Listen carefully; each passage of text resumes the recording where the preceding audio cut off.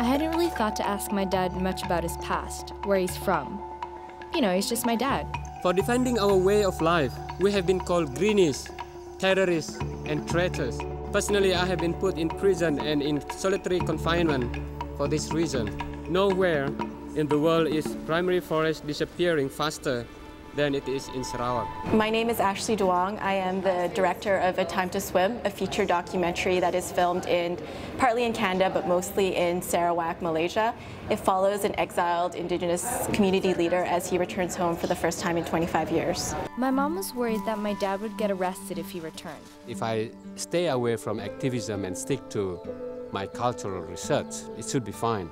I follow Mutang Urud, who I just met in Montreal. He lives in a very suburban life. He has like two amazing children and a French-Canadian wife. And then when I learned that he was this activist leader who, you know, spoke at the United Nations and all around the world about the Kelabit in Borneo, I just, I found his character really interesting. And then he told me that he was exiled 25 years ago for um, doing these kind of like organizing his tribe to these kind of bad blockades of the timber roads and he was thrown in jail in solitary confinement and then when he was out on bail facing rearrest he was helped by a couple of Canadians to escape to Canada. He spent a lot of time with the First Nations people in BC and Haida Gwaii. So then when he was going back to Sarawak he felt like it was prophetic because he could see a lot of the things that had happened in Canada happening to his tribe. So I see that there's a lot of commonalities between indigenous struggles throughout the world. We even have people from within the community who are now working with outsiders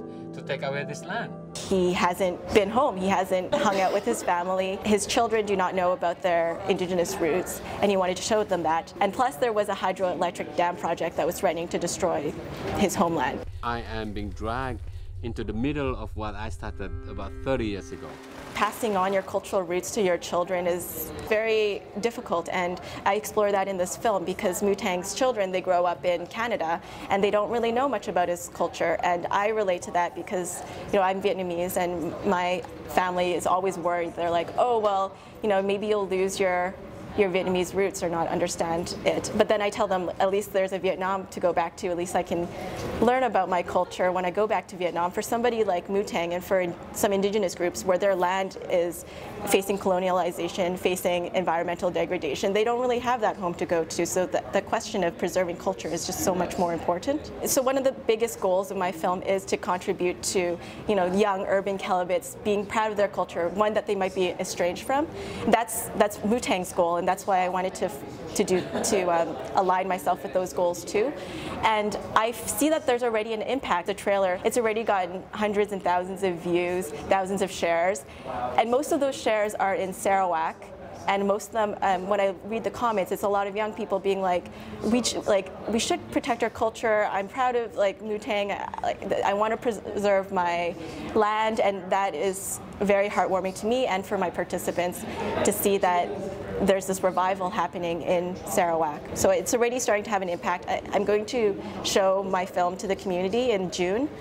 And um, I'm nervous about that, but it, it, will be very important. I filmed for five years there on five different trips. So I've established relationships there that are deeply important to me. And it's really become a big part of my life. It's, it's changed my life. This is Ashley Duong. I directed A Time to Swim, and you're watching FNX.